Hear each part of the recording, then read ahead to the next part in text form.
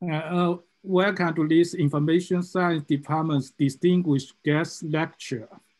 Uh, this is from College of Computing and Inf Informatics at Drexel University. Today, we are very pleased to have the distinguished guest, Marcia Zeng, who come uh, to here to talk about data. just, we, we just mentioned about Love Data. We, so let me uh, introduce uh, first. Marcia have a PhD from School of Computing and Information at University of Pittsburgh. Marcia has done a lot of things. Uh, uh, she's a leading expert and international leader in uh, standard developments, vocabulary, uh, standardization, terminology service. I just mentioned a few of uh, things here, like NKOS, Network Knowledge Organization System. This is one of things uh, Marcia was involved from the very beginning. Until now, I think the website, if we click on that website, you will see that it's still from Kent State, from Marsh, Marcia's webpage that she have continue maintain a very good website with a lot of presentation papers related to network knowledge organization or NKOS. Uh, Marcia is also an expert in uh, very active in International Society for Knowledge Organization, ISKO. She served in multiple positions, including executive board of that society and many other positions, very active there. The other thing, perhaps a lot of us are more familiar is Dublin Core Metadata Initiative, DCMI. Again, Marcia is start from the very beginning, very active, serve in many positions in the organization. And one of champion uh, behind this organization for, for the Dublin Core, particularly making the Dublin Core go out of the library, not just in, in, in, in library and, and lot other applications. We all know about ASIS, the, the American Society for Information Science and Technology, or it's not American, it's an inter, uh, international um. Mm -hmm. Association of the Society of Information Science Technology. She served uh, again, many positions in the organization, including board of directors, chair of standards committee, and many others. She's also active in iSchool, and currently she's the chair of Digital Humanity Curriculum Committee, working on digital, digital humanities curriculums. And there's a lot more. I particularly like these uh, algorithms as that seem to be the kind of standard she's working on in ISO for uh, W3C Special Library Association, IFLA, and, and many of these organizations. I should mention uh, a book, a very popular book uh, just called Metadata. If you learn metadata, you're likely need to see this uh, book currently it's already in the second edition, very popular, and its third edition is coming up this year. I believe Marcia could talk about that later on. So a lot of schools, LIS schools using this book uh, cover the metadata and of course, that's not just the only book. She has published five books and more than 100 uh, research papers on that in, this, in addition to that, she also uh, very busy in giving speech in many different areas. So we are very glad that we'll get her here. For example, she have just given a keynote at the Digital Humanities Summit at, uh, and then another international conference on digital archive and digital humanity in uh, Taipei, Taiwan uh, give uh, a, a, keynote speak at the Getty, Getty Center. Uh, I think she has been working with Getty Center for many years uh, uh, on control of uh, these projects. So they they continue. Uh, these are just at least uh, current uh, few years. Uh, I know that uh, she has traveled a lot, including know, here say Taiwan, China, and a lot of places giving a speech uh, on this topic. Finally, I should mention we also have a special guest here, Imma. Imma Subirats. uh, she, uh, she has worked closely with Marshall and particularly Marshall will talk about the, collaborative project they have been working together. So we're glad to have Imma here today as well. So with that introduction, let me give the floor to Marcia. Like Marcia now is currently in Kent State. Hi, Marcia. Hi, everyone. Mm -hmm. uh, thank you for coming. It is a great honor to be invited to this as a guest speaker at this very special event, this very special week. Right? Uh, we all have our passion to work together for the open science, open data, and also the power of data and information in this digital age. Um, so I hope that through this lecture, you get some um, ideas about the adventure that I had with Imma together in a new era of the open science and open data. Um, if we have time, we can discuss more after this. And also I would be glad to keep continue all the conversation. This session will share the research findings and the pilot study on ensuring the fairness of metadata. Here, FAIR is F-A-I-R. The open data and open science environment requires the published digital resources are findable, accessible, interoperable, and reusable. FAIR.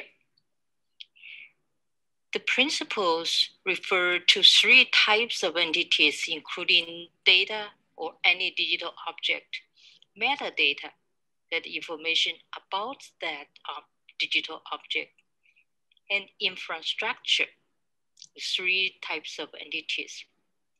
In this session, the focus will be on metadata.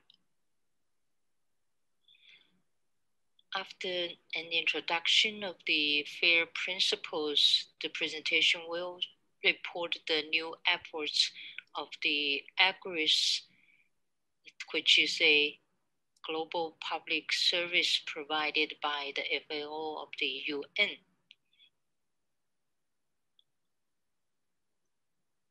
We will first have some background about open science. Open science is the movement to make scientific research and its dissemination accessible, accessible to anyone at any level. So this uh, scientific research include publications, data, physical samples, and software. Usually, open science is transparent and accessible knowledge that is shared and developed through collaborative networks.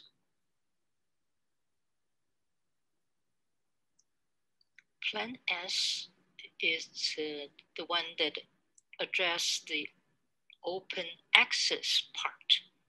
This is an initiative for open access publishing that was launched in September 2018 the plan is supported by a lot of international consortia and research funders, which requires that um, with effect from 2021, all scholarly publications on the results from research funded by public or private grants provided by national, regional, and international research councils and funding bodies must be published in open access journals on open access platforms or made immediately available through open access repositories. So we can see that kind of requirement is now coming. The United States Federal Data Strategy has released for a while, and we will later check the USA's data.gov website, which provides thousands data sets. And a new resources, um, it's a resources.data.gov was also launched in 2019. That is an online repository of policies, tools, case studies, and other resources to support data government, management, exchange, and the use through the federal government. So in the open science and the open data movement, how can we make sure that will meet certain principles? So these FAIR principles are very important and widely used.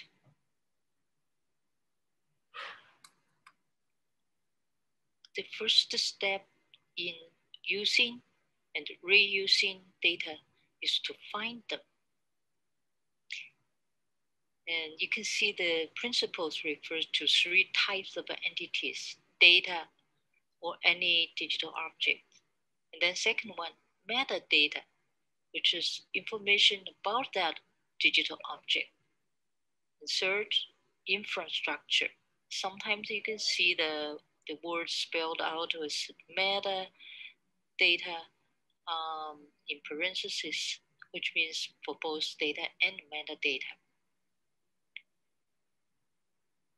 Metadata and data should be easy to find for both humans and the computers. Machine readable metadata are essential for automatic discovery of data sets and services. So this is an essential component of the whole process.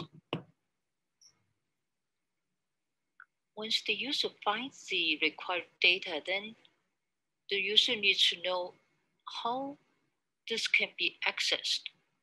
So this uh, accessible requires data and metadata are retrievable by the identifier using a standardized communications protocol. Then metadata are accessible even when the data are no longer available. This is very, very important. The data usually need to be integrated with other data. In addition, the data need to interoperate with applications or workflows in the analysis, in the storage, and in processing. Therefore, data and metadata must be interoperable. Those details give us the guidelines of how to reach the interoperable data and metadata. Reusable. The ultimate goal of FAIR is to optimize the reuse of data. You don't want just create data silos, right? To achieve this, metadata and data should be were described so that they can be replicated and or combined in different settings. This R1 uh, is directly referred from the first findable principle. As you can see, the findable F2 refer defined by the R1 below. So the reusable directly connected with that. This is summary of the FAIR principles.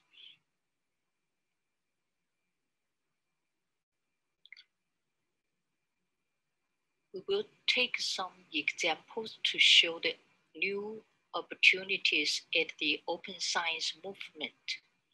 We can see the FAIR principles and the importance of metadata enabled we see all of this and take the new opportunities.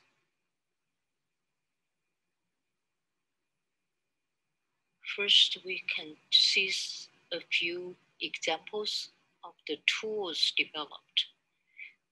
The Dataverse project is an open source web application to share, preserve, cite, explore, and analyze research data. It has been implemented by a lot of different institutions all over the world. Each Dataverse collection contains data sets. And then each data set contains descriptive metadata and data files. So if it's a organizing um, uh, way, the Dataverse collections may also contain other data Dataverse collections.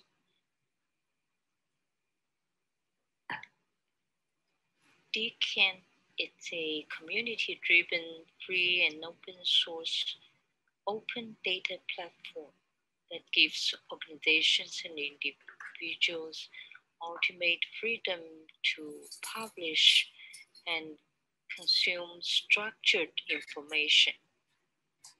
Pay attention to the term structured information, mainly the metadata. And this is very popular and has been used by data.gov and many US government agencies.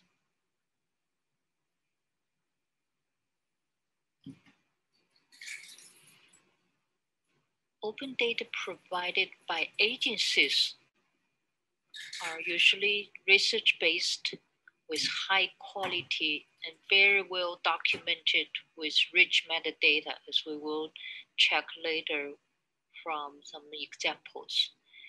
And they usually provide the available data sets through dedicated web services. They have their own web services. We mentioned that the tool CKAN, that's the uh, US Department of Agriculture use the CKAN to provide its services, dedicated services. I have some numbers to show you how quickly it was growing.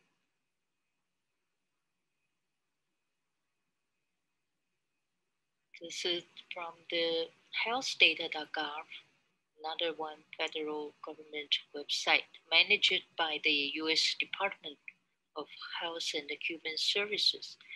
And you can see the filters by content type data sets, right? And topics. Also look at the format.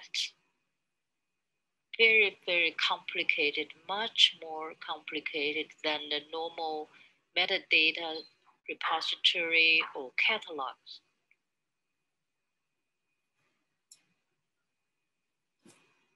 Previous example was agent provided now we're talking about putting all this agent inventory together, uh, centralized. The example here is data.gov, the USA's central clearinghouse to research and discovery.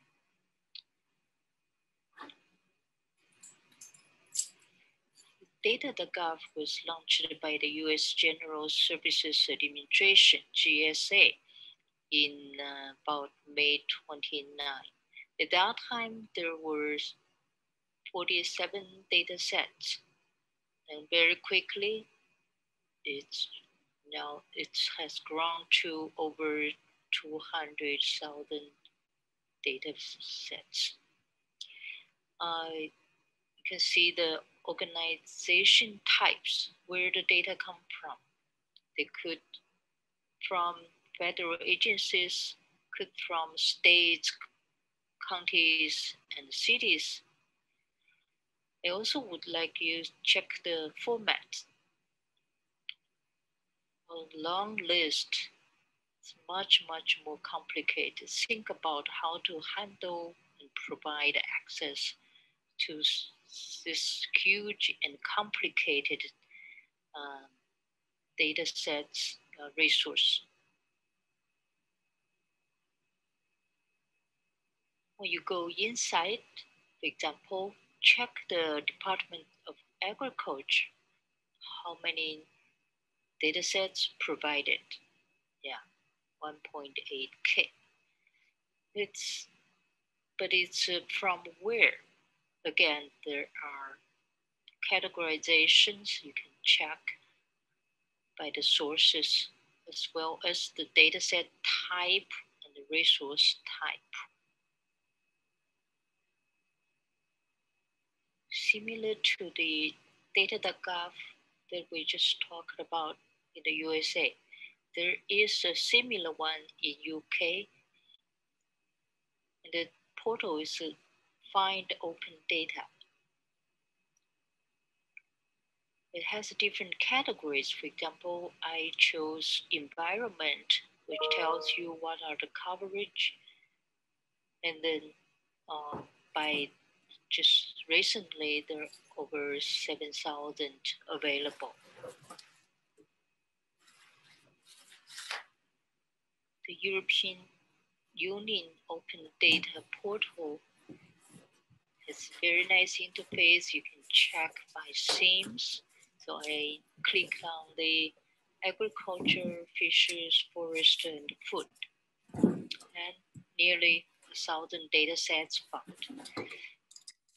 And I want you pay attention to the example of particular data set.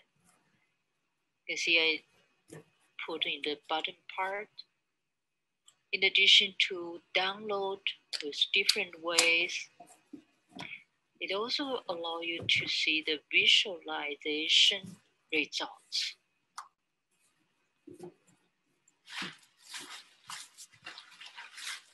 Open data centralized can also be in the way of digital repositories. In fact, this is a pioneer project and was led by our professor Jane Greenberg it was founded in the 2012 a pioneer work funded by the NSF. If you go to the website, you can see that was used by all over the world and in many different domains. It makes the data underlying scientific publications discoverable, freely reusable, and citable. It is a general purpose home for a wide diversity of data types. OpenAIRE is also a huge repository. It's a European project supporting open science. They provide a technical infrastructure harvesting research output from connected data providers.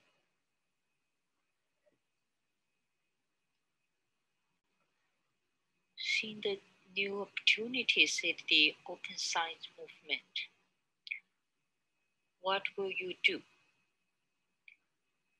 The next, we will focus on the AGRIS efforts of integrating research data sets metadata. AGRIS is the International System for Agricultural Science and Technology, a global public service provided by the Food and Agriculture Organization, FAO, of the United Nations. AGRIS can be seen from three point of view, the network, the database, and the web portal.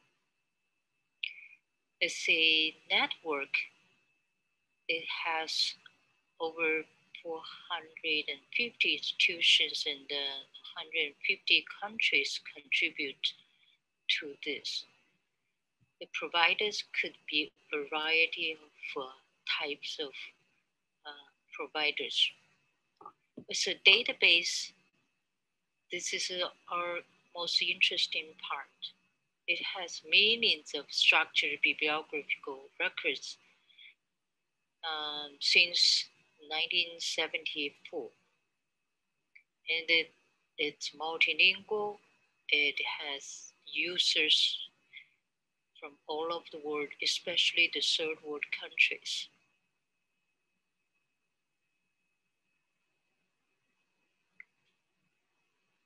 The openness and the flexibility of the web have created both new opportunities and new challenges for data publishers and data consumers. Where are we? Are we data publishers? Are we data consumers? How to represent, describe, and make data available by publishers in a way that it will be easily found, understood, used and reused by consumers. The next step to include uh, research data sets um, services, maybe one of the ways to provide links for accessing the data sets, portals, and services for all the food and agriculture and other themes from all over the world. That means you on the web page provide links to data.gov, provide links to data.gov.uk, etc. Another option is like those um, open data provided by centralized web, starting a big service like data.gov for food and agriculture that means you harvest all the metadata from the world and become an independent service parallel to the existing bibliographical um. Would that be workable?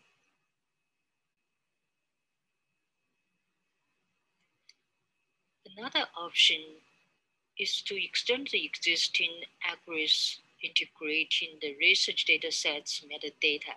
You see the current one, uh, when you check content type, it has bibliography, book, conference, journal article, thesis, and other. Can we extend this and integrate research data sets here?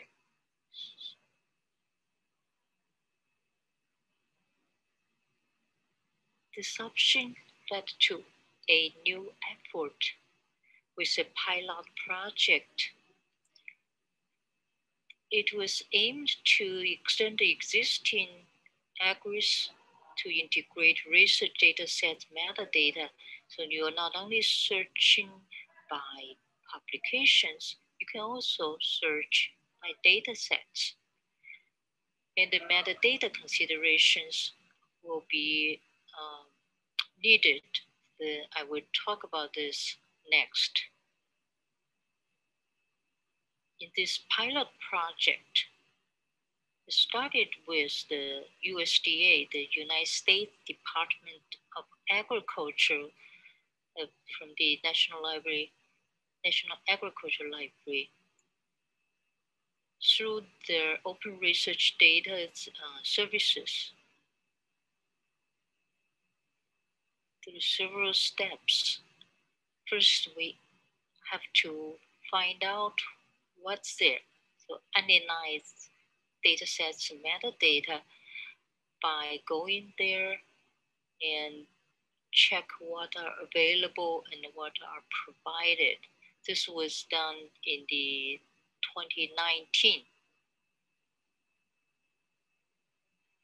There are two sections.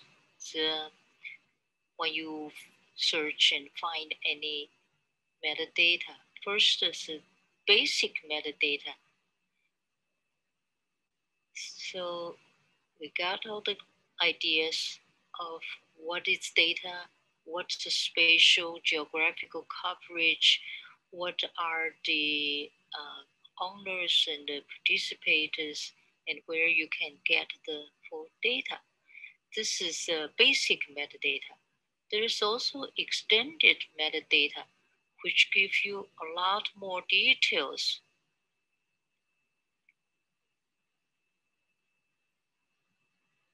All of the metadata records are also stored as JSON files.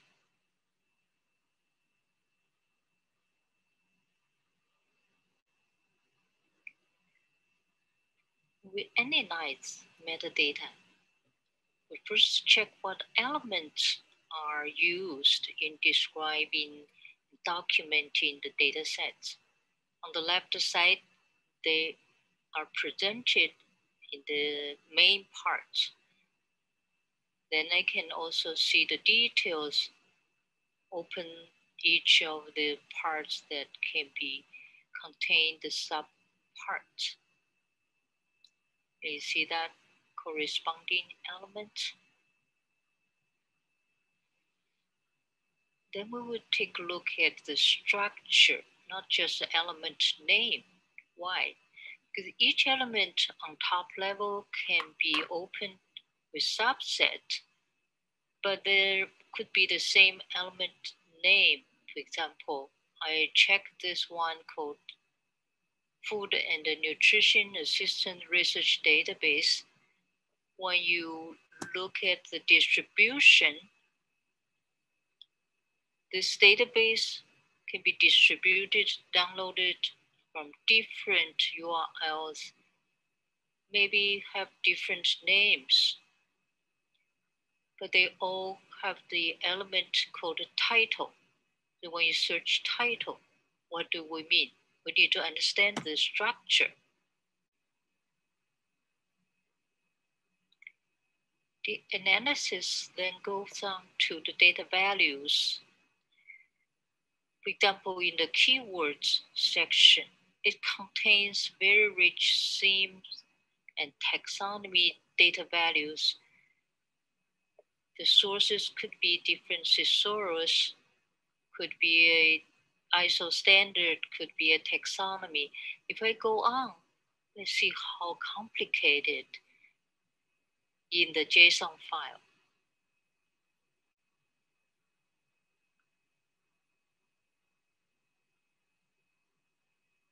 the USDA has done excellent job. You see, for example, when we continue to look at the data values, you see that full taxonomy has been applied at all levels, from kingdom to species, in the original metadata records. Wow, so impressive.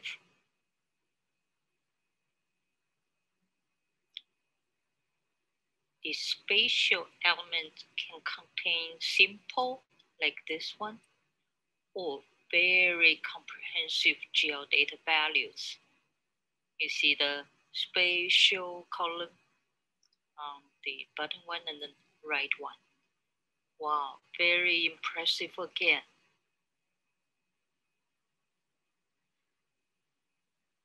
The next analysis is the metadata schemes used the USDA JSON scheme is based on what we call Project Open Data Metadata Scheme one, version uh, 1.1, which is based on DCAT. So you can see the relationship, Dublin Core, DC there, and then DCAT is the data catalog vocabulary of the W3C itself is an application profile of Dublin Core. Then the project open data metadata scheme, ODMS, is based on the DCAT uh, 2014 version, and it's used by the USDA. After all of this analysis, it led to the step B, mapping based on metadata schemes. The involving schemes we mentioned about that are what Agris used, which is the application profile of Dublin Core. And then the USDA JSON files use. They use the one based on the project open data metadata scheme, which itself is a DCAT application profile. And DCAT was built uh, also based on Dublin Core and extended to cover research data.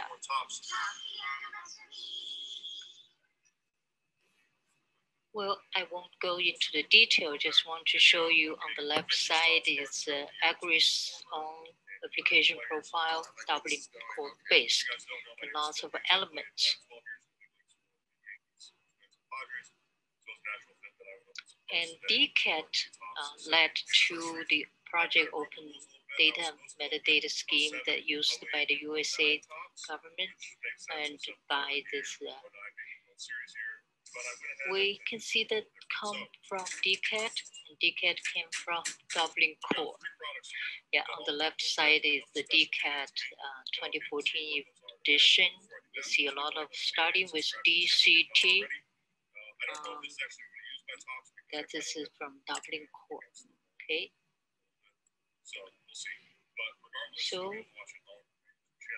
can we map? Yes, because they all have the basic root together. Um, so we try to focus on achieving interoperability at the level of schema, at the level of records and the repository, and think about possibilities and how uh, you can accurately do this and whether you really need to crosswalking, the mapping, everything. They have to be realistic. The lower part was the spreadsheet I created to compare and crosswalk the different schemes that used. This is just uh, informational uh, slides.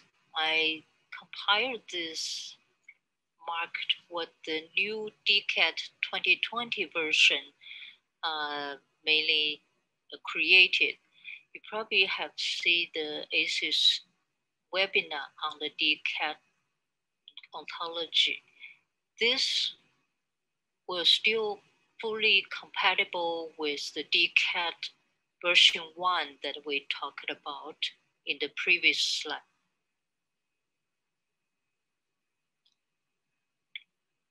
This M2B also now need to modify the consideration and to include the both bibliographic and the research data.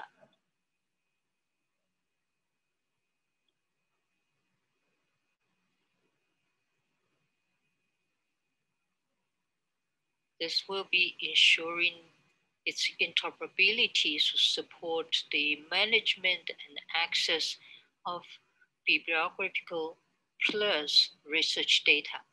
So you have to go to your original structure and modify the application profile and um, then implement into the database and harvesting use. The fourth step is metadata integration. So the data now validated and mapped and cleaned up and converted to the Agris application profile. And then enriched with the uh, element and values that are used by the Agris, then convert into Agris RDF data this is the final uh, approach. After the pilot study converting, uh, crosswalking, and they started to harvesting. What are the outcomes?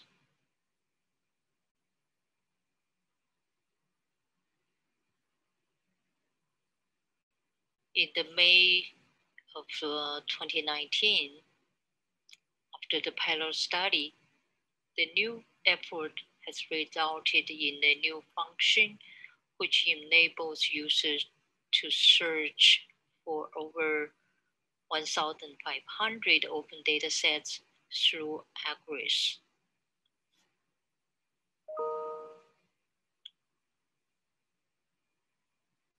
Now, when you go to search the Agris, you can see the filter not only publications, but also data sets.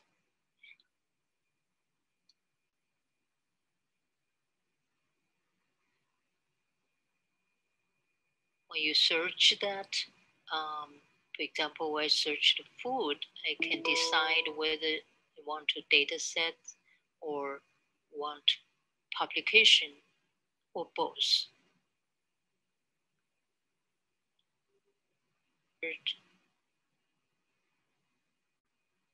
And this led to all the downloadable data sets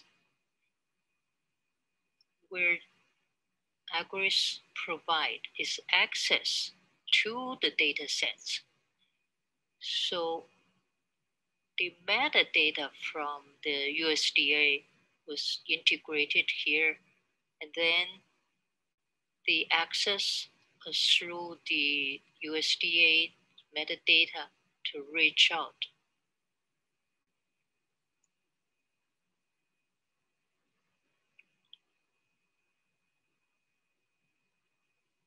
What about if I want to get the metadata? You access there, the source brought you to the USDA to the particular provider and where you can um, find the information and download and use from there. Okay, understand that left side is Agris, give the access to the USDA data.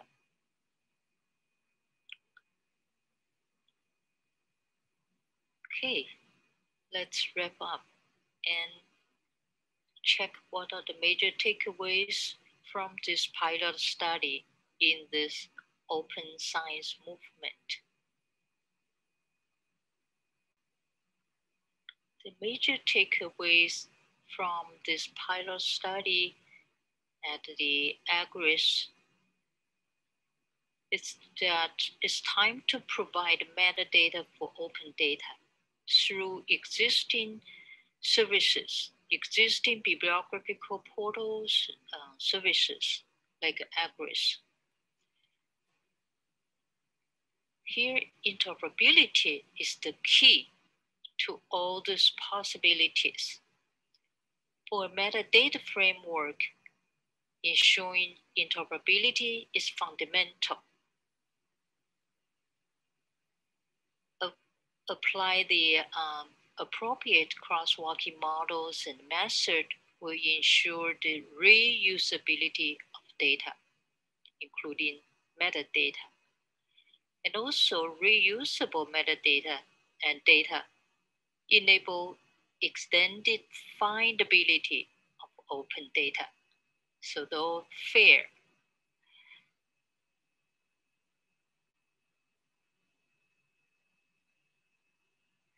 Thank you so much for coming to listen to this long session with a lot of details.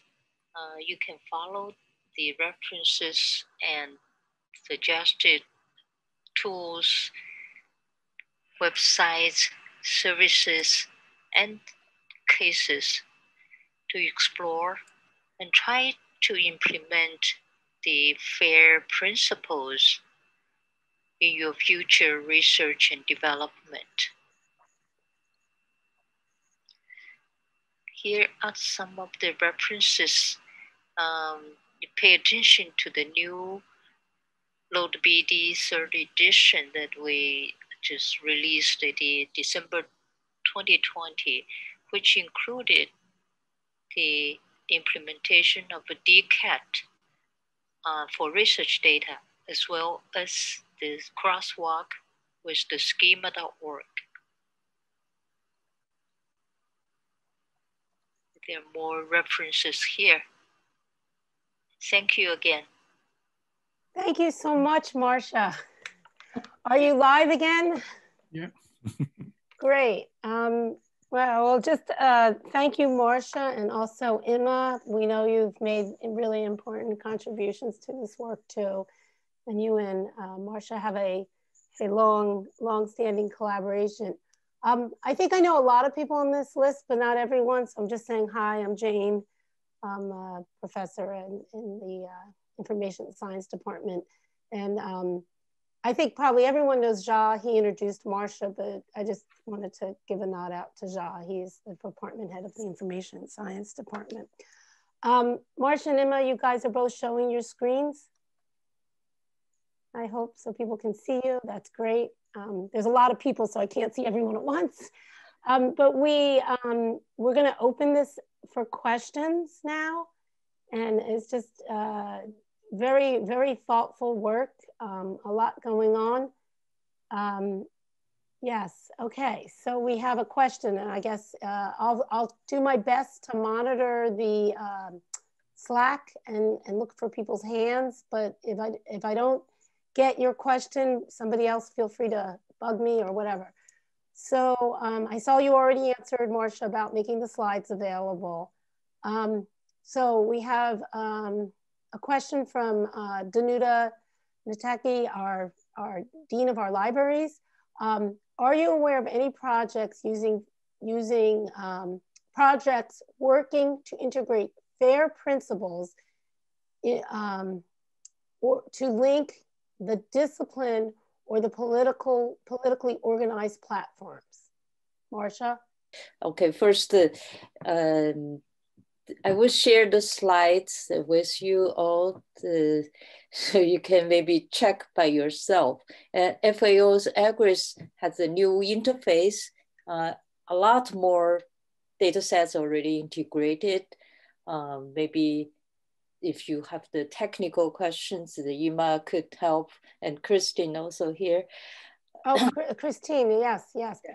But Marcia, the question is mm-hmm. projects mm -hmm. working with FAIR yeah. Um, to link any discipline or politically organized platforms. Are you aware of anything like that? Uh, it's a, the, the best examples are the data.gov and ratios.data.gov that probably toward this. So you, if you read that strategy, okay, um, it will be helpful. Right. And do, does Imma or Christine want to add anything there? No, I think that much I covered pretty well. Good, good. All right, next question. Um, could or should data that contains some confidential information be made somewhat fair, such as trade secrets, etc., so that at least they are discoverable as existing? I, I haven't read any specific things like that. Maybe it's your project to do, right? Yeah. Um, any, it's a very else? good question. Yeah, I think this is an excellent question. Uh, you can see even in the examples we showed, those data has different levels of accessible whether you can access or you, can download or you can reuse all different degrees. I yeah. think that probably uh, there's some way you can combine with the all those more confidential information. Mm-hmm. Yeah, give the other percentages. I mean, I'll just chime in that yes, FAIR does apply to sensitive and restricted data. So you can have the metadata about the data, but not necessarily the data. Um, so, um, but it's, it's great. All right. Uh, so next question is, do you have any examples of the 1,528 open data sets that are being used about how people are writing papers or using the data? Maybe I'll even annotate using or reusing. Yeah, Imma maybe get. Yeah. Uh, yeah. They, yeah, Imma, you unmute yourself. Yes, I was answering something about ELIS on the chat. Sorry for that. Um, could you repeat the question? Sorry. Sure, sure. Imma, the question is um, the 1,528 open data sets that are being used. Um, do you have examples of how they're being used or reused, like writing papers um, about data use? How how's it working? Uh, no, no, we don't have this kind of uh, information. Um, this um, we are only facilitating visibility and accessibility through our website. So anything that has to do about the usage of the data sets needs to be a little bit followed up through the original, the source website. Yeah. So yeah. where the data set is stored. Yeah. What we can give is, is statistics about how often people are attracted by the metadata that describe this data set and they end up in Agris and then they link to the website where the data set is available. This we can do, which is also an interesting information, but we cannot give uh, more information than that with, um, with the data that we are storing actually. Yeah. Mm -hmm. I would I would suspect with um, you know publications and citing the data, eventually you can do probably some kind of checking, you know, with if the the data's recited or something in a publication, but that, like you said, that's future. Um, yeah. That's excellent. Let's see. Uh, lots of lots of good questions here. Um, I, will just say we're going to collect all the questions, everyone. So if your question doesn't get answered, we're going to make sure that they get to everyone, um, uh, Imma and, and Marcia. So, all right, the next question is, uh, is there an effort to use this to gather all the research being done to fight COVID? COVID-19. Yeah, I think Kirsten and uh, Imma uh, did a presentation at the Dublin Core about how they immediately integrated the this terms in the Agrovoc in order to include the, the COVID-19 fighting uh, information. So Kristen, you. Yeah, Kristen. Um, course, we had uh, coronavirus and more generic, uh, and know, no, no one saw this coming. So uh, we had a question from IFPRI early on last year asking us to include COVID-19 because it's not just a public health issue, it also impacts market access, food security. And there's a lot of experience made in the past on diseases like Ebola and Zika that are actually transferable in a food security and other context. So it's definitely being used, of course, especially in the health sector, but also in terms of um, socioeconomic impact and in making that data visible and accessible to people so that the keywords are essential. So we've expanded to much more related keywords beyond the purely um, COVID related. So Imma, do you want to add anything? Right. Um, yeah, no, well, we tried to harvest data based on COVID-19 uh, during the last year and to populate uh, with more interesting publications uh, related to the pandemic. But it was uh, pretty difficult for us due to the fact that there was a lack of uh, assessment in terms of, so some terms assessed in vocabularies used out there. So Agrovoc was quite, quite uh, fast uh, adding these, um, these keywords. We tried to do our best, but at that time was um, still a, bit, a little bit too early for us to start uh, harvesting based on Agrovoc keywords to make sure that the data that we were putting in was, um, um, yeah, was pertinent to the COVID-19. This is something that we would like to assess in 2021. Perhaps uh, there is a little bit more of coherence out there using the Agrovoc new terms. Um, and maybe there are some uh, data providers uh, suitable for agris that are already using these kind of um, keywords. We try to harvest using as much control vocabularies as possible and not using natural language. Therefore, um, uh, we there is an effort. This I can assure. It was last year from the Agrovoc perspective and agris, and what we hope is that this year we are going to be a little bit more effective and um, and showing more results. Thank you. And we um, need to emphasize this is multilingual. So every term you yeah. add, you make sure that the, you, the UN official language that there, as well as uh, the inclusive of other languages. So Christine has been doing a lot of work to make sure the multilingual um, accessible to this team effort. It's a great network.